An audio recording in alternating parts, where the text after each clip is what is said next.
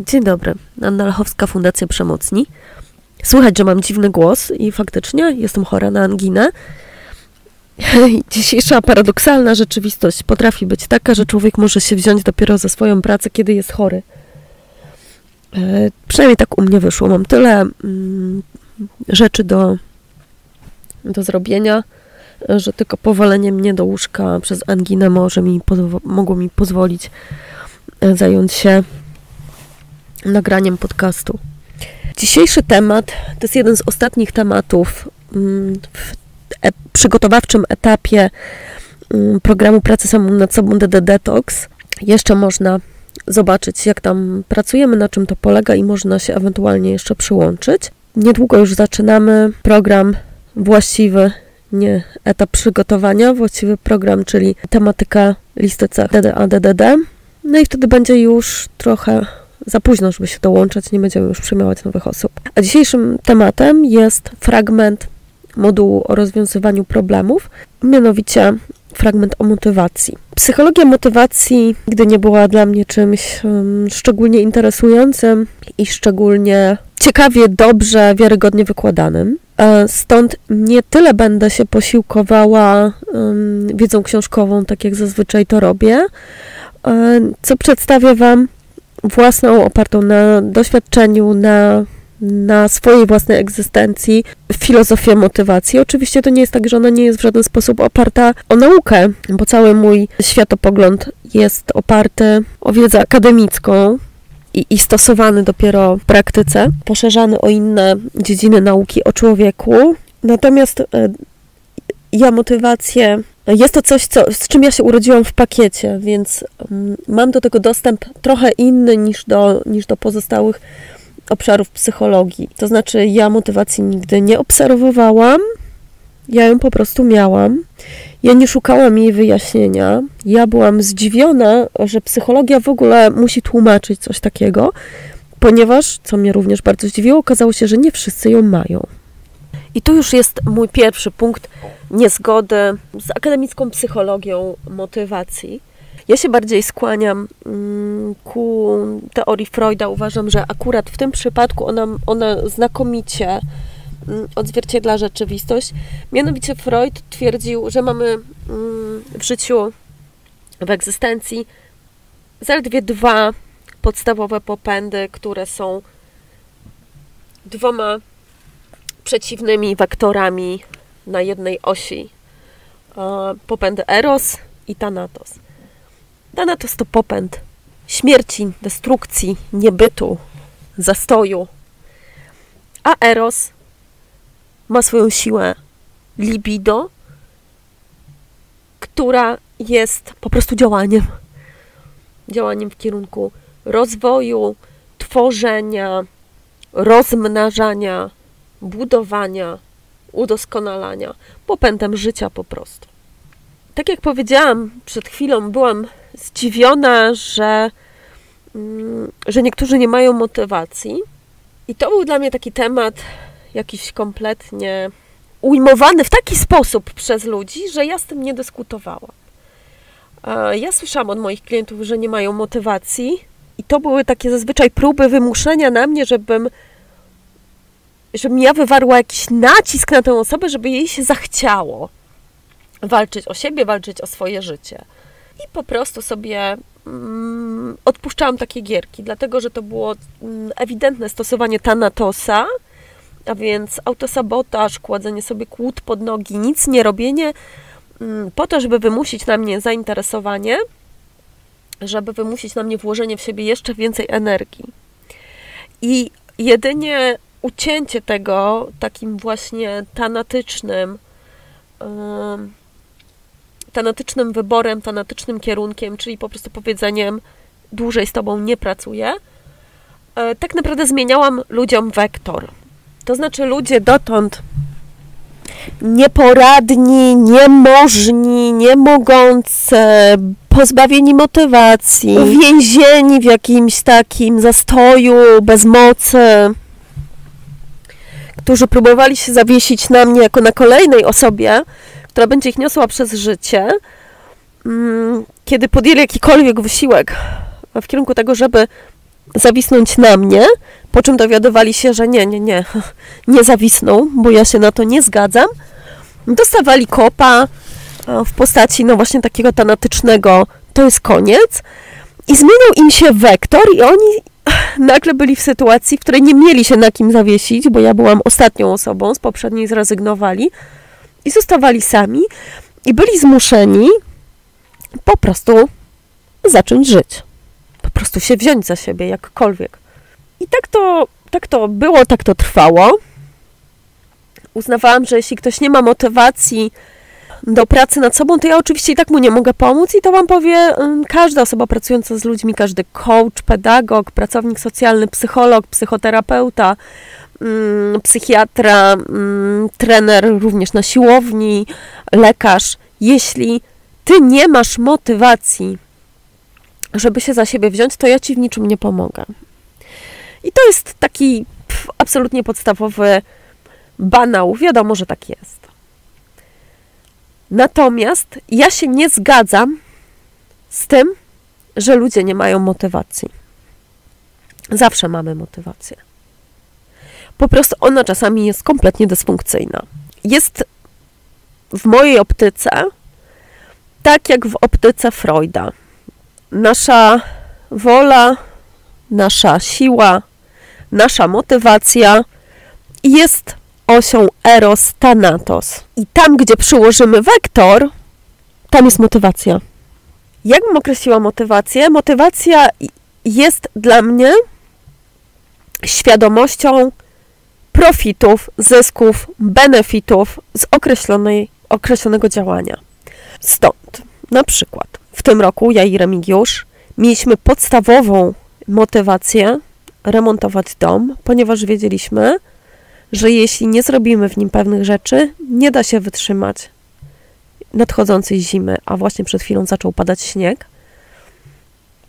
Mieliśmy również motywację do tego, aby utrzymać kontakt z naszymi odbiorcami, z naszymi klientami, ponieważ to wy jesteście naszą pracą, a więc to wy umożliwiacie nam po prostu zarabianie, życie, funkcjonowanie, miejsce w społeczeństwie, a więc de facto jesteście tym, co nam zarówno umożliwia posiadanie domu, jak i uzasadnia posiadanie domu. To znaczy, wszyscy potrzebujemy posiadać dom, bo jest on naszym punktem wyjściowym do społeczeństwa, a więc do pracy, do roli zawodowej, do pozycji zawodowej. A z drugiej strony, ta grupa społeczna związana z pracą umożliwia w ogóle posiadanie domu, bo jeśli się nie zarabia, to jako człowiek dorosły ciężko jest mieć dom. Tak więc nasza motywacja była w 80% postawiona na fizyczne wysiłki związane z domem. Powiedziałam w 80, powiedzmy 79. W 19 na utrzymanie kontentu fundacji, ale nie na rozwijanie się e, przez te pół roku. 2% naszej motywacji było jedynie skierowane na utrzymanie dobrostanu fizycznego. To znaczy, wiedzieliśmy, że jeśli nie będziemy bardzo, bardzo, bardzo dużo pracować i bardzo, bardzo się wysilać, to będziemy po prostu mieli kłopoty. No, dzisiaj, e, będąc znowu chora, jestem chora już od początku września, a to na grypę, a to na anginę, e, myślę, że trochę źle rozplanowaliśmy e, nasze motywacje. Niemniej wierzyliśmy, że to będzie dla nas dobre. Widzieliśmy to tak. Nasz pod, nasze podstawy to jest ciepło w domu i utrzymanie naszej firmy, którą jest fundacja. Dzięki temu będziemy mogli sobie zdrowo, dobrze funkcjonować. Okazało się, że się pomyliliśmy. Trzeba było więcej motywacji poświęcić, e, położyć jakby na szale odpoczynku i zdrowia, zmniejszyć ilość napięcia związanego z utrzymaniem fundacji i remontem domu i prawdopodobnie wtedy nie bylibyśmy e, tak chorowici tej jesieni mm, i łatwiej by nam było i z fundacją, i z remontem. Pomyliliśmy się, mimo że byliśmy przekonani, że to jest dla nas najlepsze, profity z tego będą największe. Profity, czyli nasze życie będzie najłatwiejsze, najwygodniejsze i najwięcej rzeczy będziemy mogli dzięki temu robić. A więc, mając ciepło w domu, będziemy najzdrowsi i będziemy mogli najwięcej pracować intelektualnie. Ale jesteśmy tylko ludźmi, pomyliliśmy się trochę, nie doceniliśmy e, poziomu naszego wyczerpania. I okazuje się, że i praca w fundacji na tym cierpi, i remont ucierpiał, ponieważ nasze zdrowia załamały się tak bardzo, że my niekoniecznie jesteśmy w stanie realizować nasze plany. Ale tak jakby 100% motywacji zostało zaaranżowane. I podobnie jest, kiedy w ogóle się za nic nie bierzemy, to to nie jest tak, że mamy 0% motywacji. Tylko jeśli za nic się nie bierzemy, to ta nasza motywacja po prostu przenosi się na drugą stronę. Włączę piecyk, możecie słyszeć teraz biały szum. Przenosi się na drugą stronę skali, na drugą stronę punktu zero na tej osi Thanatos-Eros. Po prostu motywacja przechodzi na stronę Thanatosa, a więc destrukcji. No i tak na pierwszy rzut ucha, że tak powiem, na zdrowy chłopski rozum, jakie można mieć korzyści stawiania na destrukcję, zrealizowania popędu śmierci? Otóż bardzo duże. To znaczy, jest to lustrzane odbicie tego, co się dzieje, gdy jesteśmy w popędzie życia. To znaczy, popęd życia oznacza wysiłek i odpowiedzialność. Wszystko kosztuje. Wszystko zawsze kosztuje. Tak jest stworzony wszechświat. W związku z czym każde budowanie, osiąganie, rozwijanie się jest okupione wysiłkiem, lękiem przed porażką, brakiem wygody, brakiem bezpieczeństwa, narażaniem się innym, bo jesteś wtedy widoczny, kiedy coś robisz, odpowiedzialnością za to, jak zrealizujesz swój popęd życia, odpowiedzialnością za siebie. Eros jest wolnością do, natomiast Thanatos jest co najwyżej wolnością od. Od wszystkiego. I teraz tak. Wolność od. Czy to nie brzmi całkiem fajnie? Czy to, czy to nie brzmi jak korzyść? Nic nie muszę. Nikt mnie nie ocenia. Sam siebie nie oceniam. Nie muszę się wysilać, nie muszę wstać. Nie muszę bać się, że mi się nie uda. Nie muszę bać się, jak zostanę oceniony, nie muszę bać się, że będę kogoś drażnił, będę widoczny dla kogoś. To są profity Stanatosa. Więc jeśli mówisz, że nie masz motywacji pracy, to, do pracy, to znaczy, że masz motywację do niepracowania tutaj szukaj, tu sobie rozwijaj temat tego, jak załatwić sobie motywację do pracy. Otóż odpowiedz sobie samemu na pytanie, dlaczego masz motywację do niepracy, do niepracowania. Może nie chce ci się uczyć. Może nie chcesz odnieść sukcesu, bo on oznacza wysiłek i stres utrzymywania go. Może nie chcesz stracić wygodnego życia polegającego na oglądaniu seriali na przykład, na rzecz tego, by samemu stać się postacią z własnego serialu. To jest obciążające, to jest wymagające. W moim odczuciu temat motywacji jest aż tak prosty. Zawsze ją masz i z każdej swojej decyzji masz korzyści. Nie ma sytuacji, z której nie masz korzyści. I możesz mi powiedzieć, ale jaką na przykład ja mam korzyść z bycia ofiarą przemocy? A każdy terapeuta współuzależnienia i, i, i terapeuta przemocy powie ci bardzo wiele. Na przykład, możesz obwiniać kogoś o kształt Twojego życia, zamiast podjąć za, niego, za, za nie odpowiedzialność. Możesz być agresywny wobec tej osoby, pasywnie lub czynnie, bo jesteś rozgrzeszony jako ofiara, jesteś usprawiedliwiony z powodu Twoich krzywd. Możesz myśleć o sobie jak o bohaterze, aniele, który tyle wytrzymuje, co nikt inny by nie wytrzymał. Jest bardzo wiele korzyści, dla których pakujemy się w pozornie niewygodne sytuacje. Tylko trzeba mieć odwagę spojrzeć na siebie bardzo krytycznie, po to, żeby znaleźć swoje korzyści po stronie Thanatosa.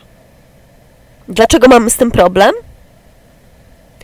Myślę, że nie dlatego, że one są trudne do znalezienia, bo nie, bo kiedy patrzymy na osobę trzecią będącą po stronie Thanatosa, to jej korzyści widzimy aż nadto.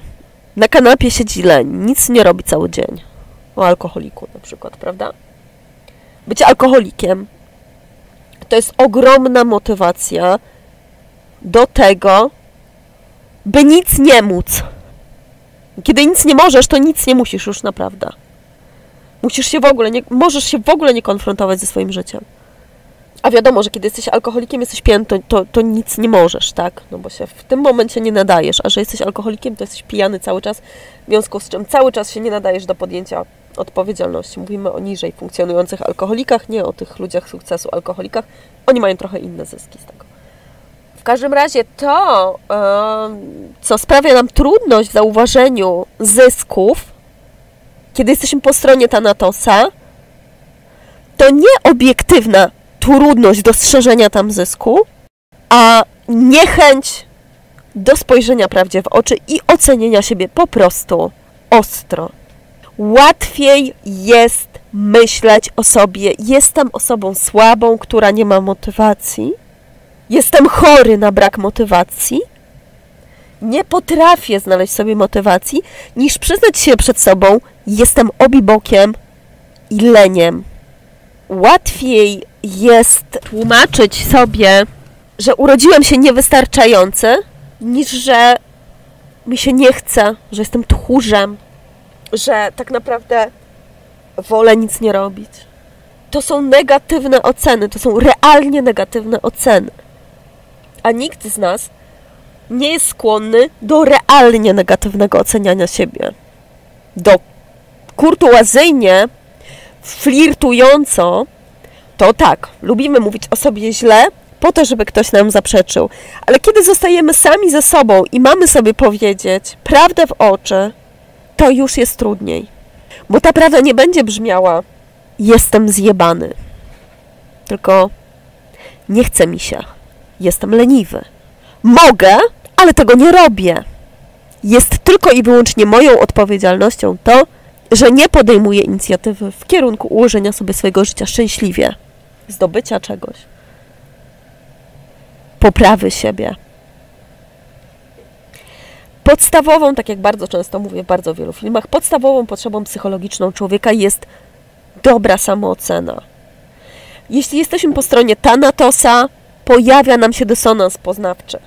Ciężko nam myśleć o sobie dobrze, kiedy widzimy, że jesteśmy po stronie Thanatosa. Jak rozwiązujemy ten dysonans poznawczy? Ano głupimi wyjaśnieniami. Typu urodziłem się niezdolny. Jestem słaby. Jestem zjebany. Jestem niedorobiony. Jestem jaki jestem. Albo nie mam motywacji. Oczywiście są to nierozsądne wyjaśnienia, ale one wystarczająco uspokajają.